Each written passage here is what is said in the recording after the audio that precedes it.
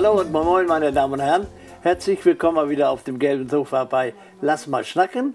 Und auch ganz herzlich willkommen mein Gast Regina Raubusch. Regina, herzlich willkommen. Ja, danke schön. Schön, dass du da bist. Wir sind ja schon so ein bisschen im Gespräch gewesen und äh, Mhm. Ja. heute klappt das. Du bist ja auch noch immer, immer gut in Arbeit Ja. und äh, das hält dich ja auch jung. Genau. Siehst du auch noch, siehst auch noch immer noch sehr, sehr gut aus. Ich danke dir. Bitte sehr gerne. Ja, das ist jetzt nicht geschmeichelt, das, Ja, das ist meine ehrliche das. Meinung. Und gesundheitlich alles gut? Ja, ich kann nicht klagen, aber vielleicht ist es auch dieses ständig in Bewegung sein, noch arbeiten Ja. und nicht nur Rentnerin, sondern im Unruhestand sein. Und ähm, ich habe ja auch immer noch meine Firma und das ist mir auch wichtig. Und das Beratung kann man auch noch mit über 70 machen und vielleicht noch mit 80 mal sehen. Das kommt immer auf die Gesundheit drauf an. Ja. ja, über deinen Beruf oder über deine Selbstständigkeit reden wir ja gleich noch. Ja. Jetzt kommen wir jetzt mal zu deinem Geburtsdatum, 14.10.51. Da sind wir drei Tage auseinander. Ach, Ich habe am 17. ja, guck mal. Ja, kann man ja fast zusammen feiern. Zwei Waage. Geht Zwei zwei Waage. Wagen. Kann nichts schief gehen. Nee, genau. In Kiel geboren. In welchem Stadtteil? Äh, ich bin am Kleinen Kiel geboren. Äh, da gab es am Lorenzendamm eine Privatklinik Ja. und da hat meine Mutter entbunden auf einem Sonntag. Und die Glocken haben geläutet morgens um halb sieben. Ja, da Also bist ein du noch- Sonntagskind. Wollte ich gerade sagen, ich sage noch ein Sonntagskind Ja, und eine genau. Waage. Ja. Mehr geht nicht. Mehr geht nicht, genau. Und wo habt ihr denn gewohnt, in welchem Stadtteil? äh, wir haben äh, Hasselstadter Weg gewohnt. So. Also zunächst haben wir bei meiner Großmutter gewohnt. Anfang der 50er war ja noch viel Wohnungsnot. Ja. Und äh, das passte ganz gut. Meine Großmutter betrieb ja als Unternehmerin eine Schlachterei und Wurstfabrikation. Und äh, ja, damit bin ich also mit Fleisch und Wurst auch groß geworden, sozusagen. Schöne Kindheit gehabt? ja, muss ich sagen. Also, Ja.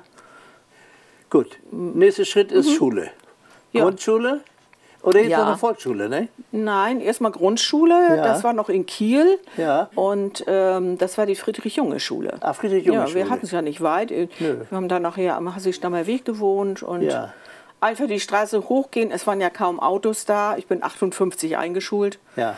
Da war noch alles War eine so. andere Zeit, ne? War eine andere Zeit. Die Straßenbahn fuhr, ne? Ja, so ist es. So vier Jahre vorbei, Grundschule, Ja. und dann ging es in eine höhere. Ja, äh, ich bin auf die Realschule gekommen. Wir sind auch umgezogen. Das war so der Zeit des ersten Wandels. Wir sind nach Kunzhagen gezogen.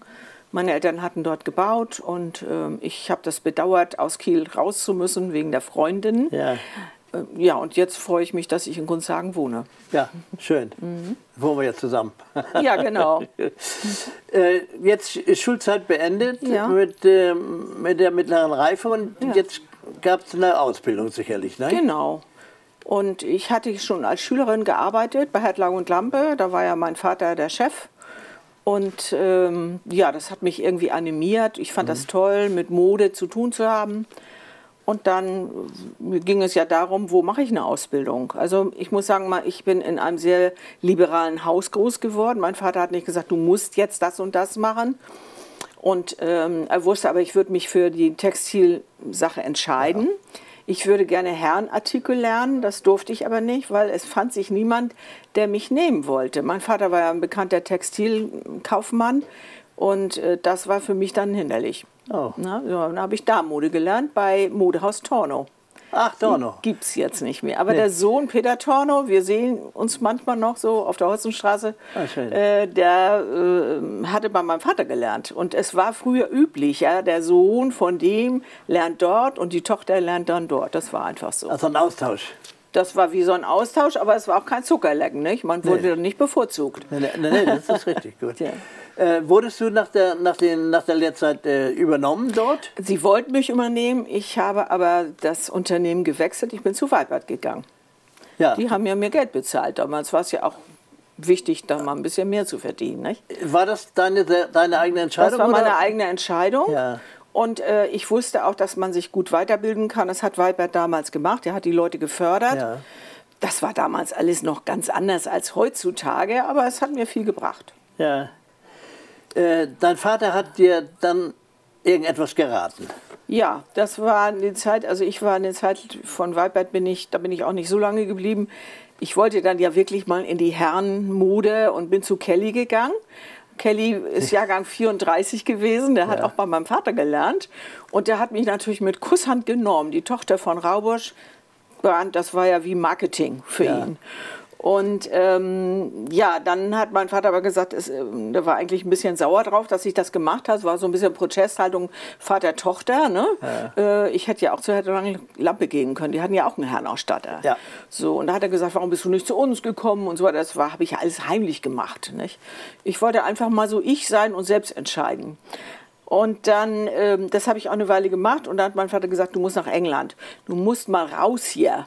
Und vor allen Dingen England, ähm, die Sprache, die lernst du eigentlich besser da, Ja. wo, wo sie wirklich jeden Tag gesprochen Ja, wird. ja. Und so bin ich dann nach Birmingham gekommen äh, und habe für die Foster Group gearbeitet. So ein bisschen wie C&A kann man das vergleichen. mhm. Die haben sehr viele Filialen in ganz England. Und ich habe da auch äh, privat eine Wohnung gehabt bei einem ERA-Manager. Und die Engländer sind sehr stolz. Also ich kann nur sagen, es war meine schönste Zeit. Ja, die haben mich überall, die haben gesagt, du musst England kennenlernen. Ja. Ich hatte Wochenende immer frei, so dass ich überall hin. Und die haben mich auch gelöchert. Wo warst du am Wochenende? Was hast du erlebt? Die wollten einfach ihr Land zeigen. Und die sind sehr tolerant und sehr, ja, die waren stolz. Also ich war ja im Grunde einer der ersten durch den EU, die überhaupt dort arbeiten durfte. Und ähm, die Engländer hatten in den 70er Jahren eine hohe Arbeitslosigkeit, aber sie mussten mich nehmen aufgrund der EU. Das war sehr interessant, Wusste, wussten viele vielleicht auch gar nicht. Hat dich das äh, sehr weit weitergebracht? Auf jeden Fall. Ja. Erstens mal kannte da kein, keiner meinen Vater. Ja. Und äh, ich war auf einmal ich und nicht Ja. die Person, wo immer gesagt wurde, ach, du bist ja die Tochter von oder entschuldigen Sie bitte, aber haben Sie was mit Bruno Friedrich Raubusch zu tun? Und das war ich auch irgendwo leid. Also mein Selbstbewusstsein ist gewachsen in England. Glaube ich gerne. Ja. Äh, Ich habe viele Gäste gehabt, die auf dem, Kauf, auf Kaufmännischen kommen, Mhm. die in England waren. Ver- Sehr verwunderlich. Ja. Martin Freund zum Beispiel. Mhm. der war auch eine ganze Zeit in England. Dann hat gesagt, wenn ich das nicht gemacht hätte, hätte ich nicht so ein Wissen mir aneignen können. Mhm. Und das ist ja wohl, England ist ja wohl irgendwie doch wohl äh, ein sehr gutes Land. Ne? Das ist richtig. Ähm, Ich sag mal, die leben anders. Also sie respektieren, äh, sie ähm, kümmern sich, wenn man aus dem Ausland kommt und dort arbeitet. Und das ist uns eigentlich immer fremd gewesen. Das hat mein Vater auch gesagt. Mensch, bei uns arbeiten so viele Leute aus Dänemark und da sagen wir dann, oh, du hast deinen Job, mach den gut und alles ist gut, du wirst ja bezahlt. Und das machen die Engländer nicht. Die äh, kümmern sich mehr. Ähm, und das fand ich sehr hilfreich. Und diese, diese Art auch ähm, Hilfestellung zu geben, die war dann auch irgendwann mal, mal mir zu eigen, dass ich auch anderen Leuten geholfen habe. Ich habe dadurch selbst Freunde aus Amerika kennengelernt, eben weil ich mal geholfen habe. Schön. Ne? Wie lange warst du da? Ein Jahr. Ein Jahr. Also ein knappes Jahr, weil ich bin Weihnachten 74 äh, wieder nach Hause gefahren, weil mein Vater sehr krank war. Ich, Mhm. Das wussten wir alle, dass er schwer krank ist. Aber es wurde immer totgeschwiegen und nun konnte man das nicht mehr Ah. totschweigen, ja. Äh, Wie ging es dann weiter, nachdem Dann du hier bin ich wieder zu Kelly, der hatte mir das ja freigehalten, ne? wollte ja auch unbedingt, dass ich wiederkomme. Und äh, mein Vater hatte dann die Idee, dass wir alle zusammen auf die Kölner Messe fahren. Er wollte einmal mit mir noch auf die Messe, weil er sagte, äh, die nächste Saison im Sommer werde ich gar nicht mehr erleben. Ich hielt das für Quatsch, aber natürlich sind wir dann zu dritt gefahren, haben eine kleine Wette abgeschlossen, wer von den beiden Herren denn die meisten Leute auf der Messe kennt. Und das war eine gute Zeit. Und ähm, abends ist mein Vater, ich wollte in die Disco mit den ganzen Einkäufern, durfte nicht. Mein Vater wollte mit mir essen gehen und sagte, es ist der letzte Abend, wo ich dann nochmal zeigen kann, wie man mit einem Fünf-Gänge-Menü umgeht. Ähm, meine Zeit ist abgelaufen. Und das war tatsächlich so. Und äh, was hast du dann von Kelly bist bin du ich dann, dann ja wirklich, weitergekommen? ich ne? bin dann zu Headlang Lampe in die Gruppe gegangen so. und habe dort im Menschshop gearbeitet, dann später Aber als Abteilungsleiterin. lebte dein Vater nicht mehr? Da lebte man. Da noch ein paar Monate hatte ich ihn Ach so, noch. ja. Er war ja in der Firma Headlang Lampe sowas wie der General, also the General haben sie immer Ja, mhm, gesagt. Und äh, das war auch eine harte Zeit noch die vier Monate. Ja. Also er hat noch selber seine Tochter überprüft. Äh, ob das alles gut läuft und wie meine Umsätze sind und was ich mache und tue und so weiter und gestalte, ja. Äh, dann gab es aber so einen Umbruch bei Entlag und Lampe. Dann ne? gab das einen Umbruch.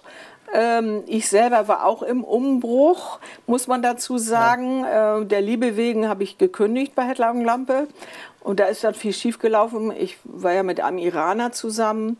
Und ähm, dann kam ja Khomeini ins Spiel und dann wurde alles anders in meinem Leben. Ja. Und äh, ich bin dann äh, 79 nach Hamburg gegangen und habe dort angefangen im Bereich Ledermoden in einem kleinen Spezialgeschäft so klein ist das gar nicht. Die ja. hatten auch Filiale in der Schweiz und die haben mich auch in die Schweiz geschickt.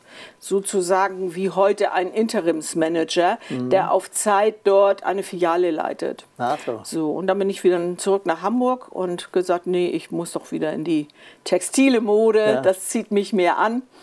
Und im Juli 80 wurde die Firma Headlang und Lampe ja übernommen mhm. von der Leineweber Gruppe Ortlab Sportlab. Ja. Und dann haben die gesagt, ja, nun bist du wieder da. Und der Unternehmensleiter sagte, also Frau Raubusch, wenn Sie so gut arbeiten können wie Ihr Vater. Und dann habe ich gedacht, oh Gott, jetzt habe ich wieder dieses Spielchen, Vater, Tochter und werde verglichen. Und äh, das hat mir aber da nichts mehr ausgemacht. Ich war ja schon ein bisschen älter und gefestigter und äh, ja, und so war mein Einstieg und so bin ich auch wieder nach Kiel gekommen. Okay, aber da ja. war ja eine ganz schlimme Zeit mit äh, Filialschließung, nicht? Ja, Woraus genau. ergab sich das denn das, überhaupt? Ja, das, also ich sag mal, wir haben eigentlich schon Anfang der 80er Jahre gemerkt, dass sich der Markt verändert.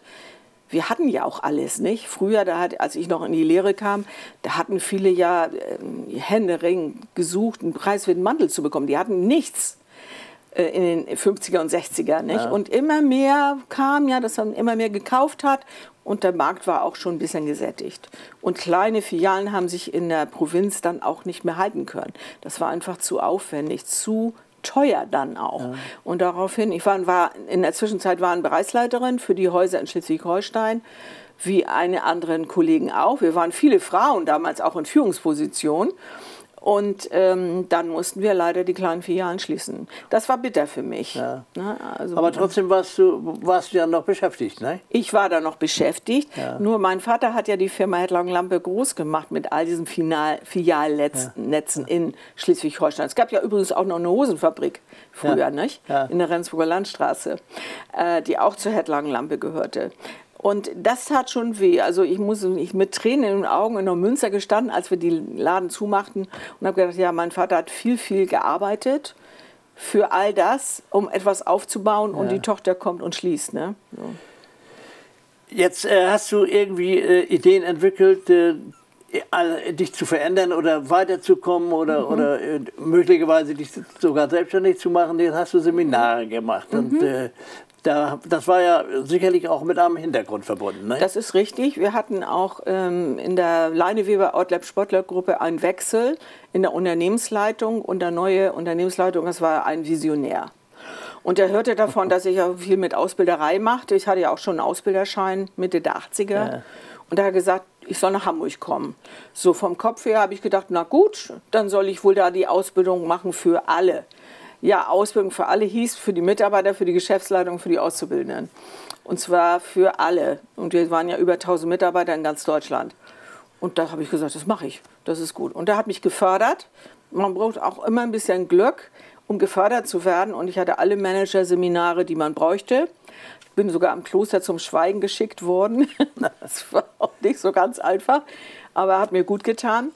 Und dann äh, bin ich in den Bereich Personalentwicklung und habe das dort mit organisiert und aufgebaut. Wir hatten ein eigenes Assessment Center in Hamburg.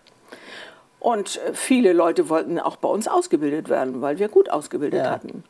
Die sind echt gekommen. Wir ziehen, wir ziehen Auszubildende an. Da hatten wir immer einen Pinguin im Schaufenster stehen. Überall. Und die Leute haben angerufen und gesagt, da möchten wir auch weiterkommen.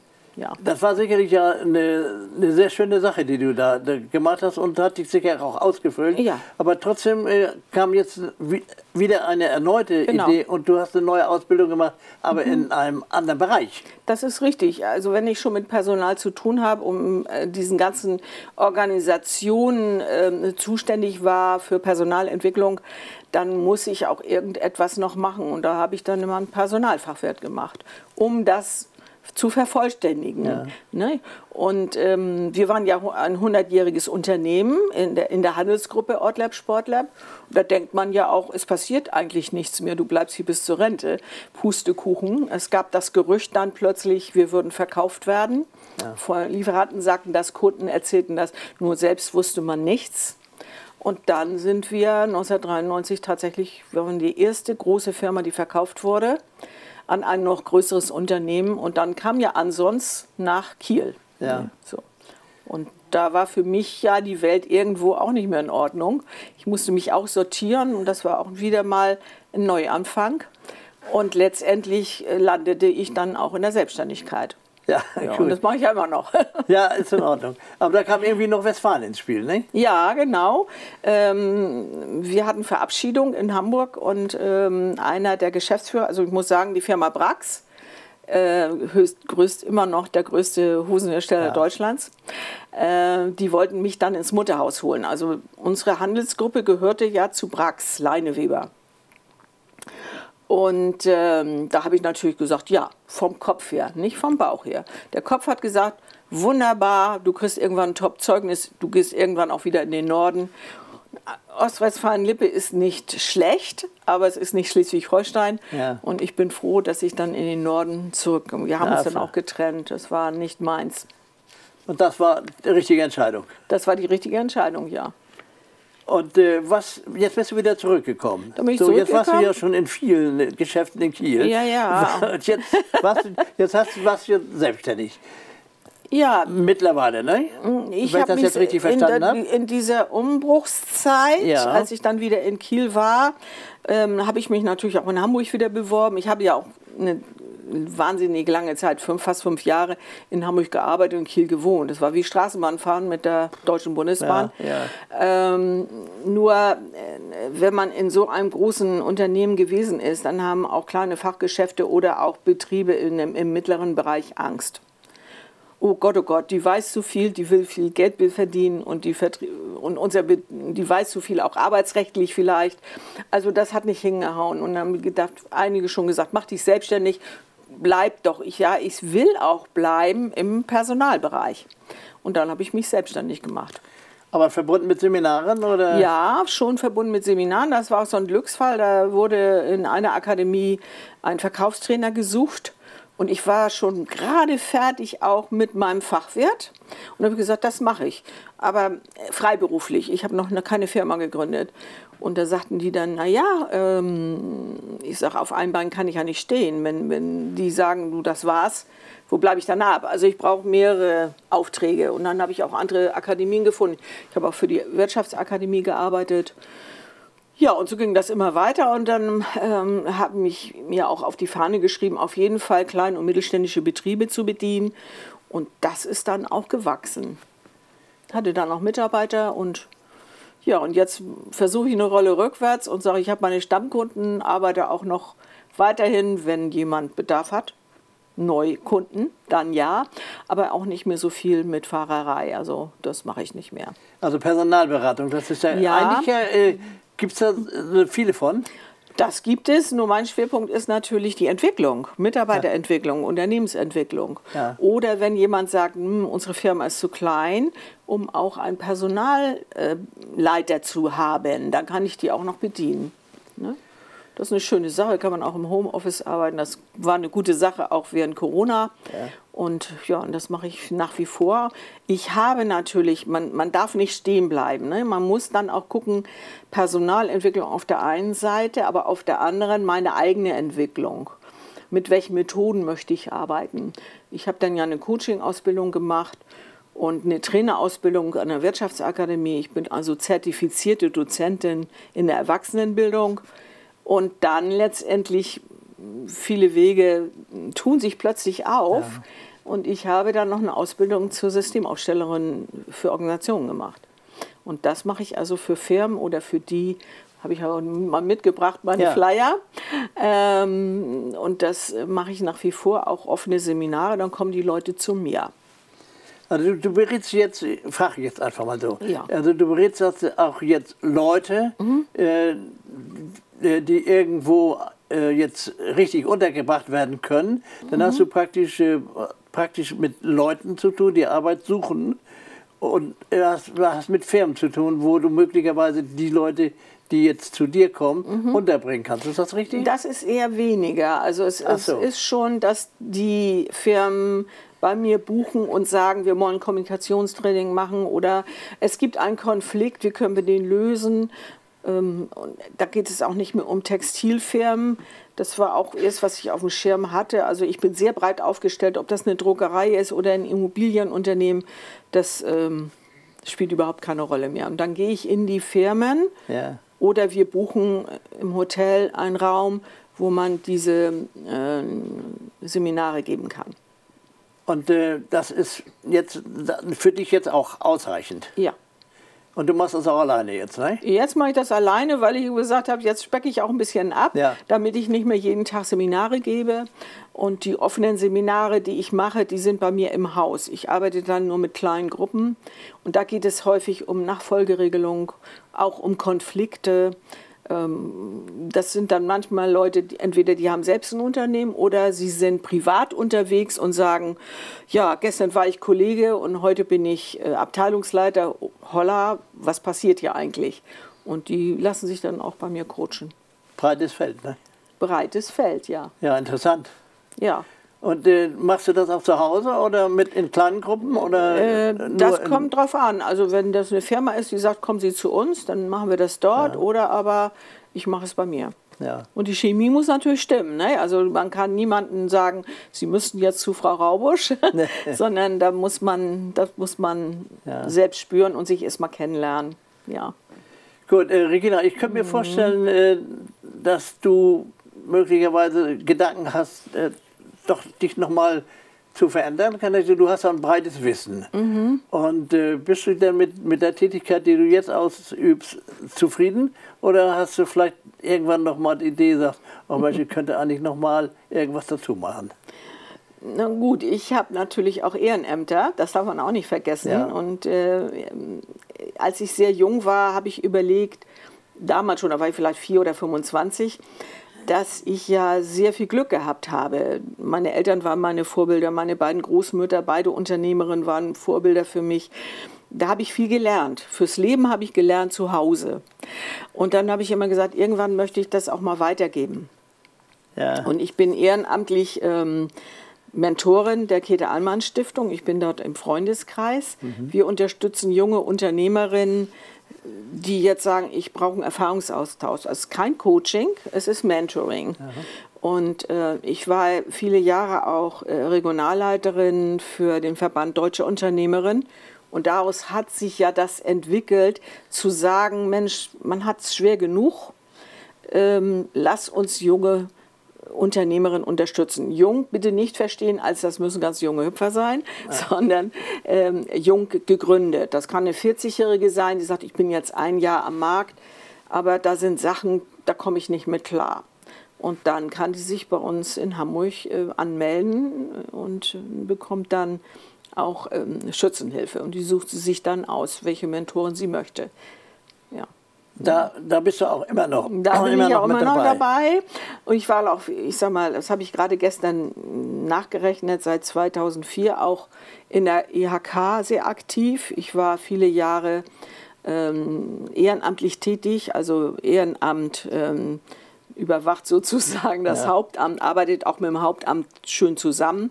Und ich kandidiere jetzt auch noch mal für die nächste Vollversammlung. Oh, Ja, Frauen was für eine in die Position Wirtschaft. Bitte? Was ist das dann für eine Position? Ähm, das ist Ehrenamt in der Vollversammlung. Das sind die, die jetzt zusammenarbeiten und auch gucken, was macht das Hauptamt. Und das ist eigentlich auch ein Riesennetzwerk. Und Netzwerk braucht Mhm. man immer. Ja, das ist wohl wahr. Tolle Tätigkeiten. Ja. Ja, und die hast du mit äh, Freu viel Freude und Spaß ausgeübt. Genau. Das merke ich, wie du das erzählst. Das Ja. kommt richtig, richtig schön rüber. Und auch Ja, das, das was du mich. jetzt machst, finde ich ganz toll. Also man muss Freude haben, dann, Ja. sonst hat man keinen Erfolg. Eben. Begeistert sein über das, was man tut. Ja. Und nicht mit dem Kopf, sondern immer schön aufs Herz hören. Ganz genau, mit mhm. allem, was dazu gehört. Genau. Regina, ähm, hast du, du, viele Tätigkeiten jetzt? Gibt es äh, bei dir dann auch Zeit für ein Hobby, wenn du dann überhaupt eins hast? Ja, also mein Hobby ist der Garten. Ja. Das ist ja groß genug. Und ich reise gerne. Aber für mich ist manchmal auch so die Kombination Reisen und auch noch weiter lernen. Also ich fahre äh, fast jedes Jahr nach Bad Kissingen, da habe ich meine Ruhe. Aber ich gehe auch zum Kongress der Akademie Heiligenfeld, das tut mir immer sehr gut. Und das ist dann so ein schönes Wechselspiel. Und wenn ich reise, dann möchte ich auch Land und Leute kennenlernen, also kein All-Inclusive. Ja. Und ähm, ich bin gerade am Überlegen, ähm, es ist manchmal auch nicht so einfach, es müssen ja auch immer mehrere Leute da sein, wenn jemand etwas Tolles anbietet. Und die äh, in Taka, das ist äh, auch, die machen auch ganz viele Trainings in Regensburg, ist ja nicht um die Ecke, aber die machen auch auf Kuba äh, äh oh. NLP und da würde ich gerne noch mal mitmachen. Und äh, der Gerhard Giegler, der Unternehmer dort, äh, der hat schon mir gerade eine Mail geschickt, dass das wohl was wird mit Kuba. Das liegt jetzt an Kuba selber, dass wir dort drei Wochen lang dann in Kuba mit mehreren Leuten äh, neulinguistisches Programmieren lernen als Practionizer. So, aber das liegt jetzt an Kuba. Kuba hat sehr gelitten unter Corona. Ja und hat auch wenig Benzin. Und wir müssen ja eigentlich vom Flughafen dann irgendwie nach äh, Baracoa kommen. Und das ist dann nicht so ganz einfach. Und das, das, ist jetzt mal. noch die Hürde. Kuba ist ja. traumhaft schön. Ja. Ja, mach das. Ist ganz, ganz toll. Wunderbar. Jetzt äh, hast du ja eine ganze Menge erlebt. Mhm in deinem Leben. Ja. Und äh, gibt es da irgendwie äh, was, was Besonderes? Ich sag mal, ich, ich frage immer so nach einem Highlight. Mhm. Was du da so hast, wo du sagst, gut, okay, da waren viele Dinge, aber vielleicht etwas Außergewöhnliches oder etwas Besonderes. Es war vieles Besonderes. Also ja, ich sag mal, meine England, England war eine tolle Zeit, ja. möchte ich nicht missen, denke ich heute immer noch drüber nach. Meine Reisen, ich habe viel gesehen von der Welt. Das war immer ein Highlight. Also ich, als ich in Portugal war, da habe ich meine Mutter, wir sind auch manchmal verreist, weil ja. mein Vater ja nicht mehr lebt, da habe ich sie immer mitgeschleppt. Aber wir haben immer Reisen gemacht, auch Land und Leute kennenzulernen und nicht irgendwo nur in der Sonne zu liegen und dann in den Pool zu springen. Und das war eigentlich immer sehr schön. Und natürlich ähm, das Land, was ich sehr geliebt habe, wo ich leider jetzt gar nicht mehr hin kann, das ist der Iran. Ja. Und ähm, für mich wäre ein Highlight von Tabriz bis nach Bandar Abbas mit dem Wohnmobil zu reisen. Das wäre also vom Norden des Iran, der ja wunderschöne Landschaften hat. Ja. Ich sag mal, manches ist ähnlich wie Schweiz, manches sieht aus wie Helgoland von, mhm. den, von den Gesteinen her. Und Bandar Abbas, das ist natürlich Sandwüste unten im Süden, aber das ist jetzt natürlich nicht möglich. Aber vielleicht wird es irgendwann möglich. Okay, ja. ich wünsche das. Vielleicht wird das mal alles besser, aber ja. wer weiß wann. Das wissen wir alle nicht. Die ganze genau. Welt brennt. Die ganze Welt brennt, ja. Ja, da ist es so. Genau. Regina, äh, ich wünsche dir in deinem mhm. Unternehmen weiterhin alles, alles Gute Dankeschön. und weiterhin viel Erfolg, den du ja auf jeden Fall haben wirst, denn mhm. du bringst da eine ganze Menge mit. Mhm. Und vor allen Dingen bleib gesund und ja. in deinem schönen Kontakt, in deinem schönen Haus mhm. und mach dir noch ein schönes Leben. Das mache ich. Ja, vielen Dank auch, dass ich hier sein durfte. Gern geschehen. Mhm. So, meine Damen und Herren, das war jetzt mal Regina Raubusch mit einem ganz anderen Leben. Und in der nächsten Woche haben wir Herrn Carsten Deckner. Herr Carsten Deckner äh, betreibt die, die äh, Fischfarm Forelli, die teilweise, glaube ich, mal äh, äh, nicht betrieben wurde, aber die hatte vorher Gerd Schulze sehr lange eröffnet und auch sehr, sehr viele Jahre ge gemacht. Und der wird im nächsten, im nächsten, in der nächsten Woche hier sein und äh, da freue ich mich natürlich auch drauf und würde mich freuen, wenn Sie dann auch dabei sind. Und äh, wünsche Ihnen noch einen schönen Abend und äh, schönes Wochenende und alles Gute und herzlichen Dank.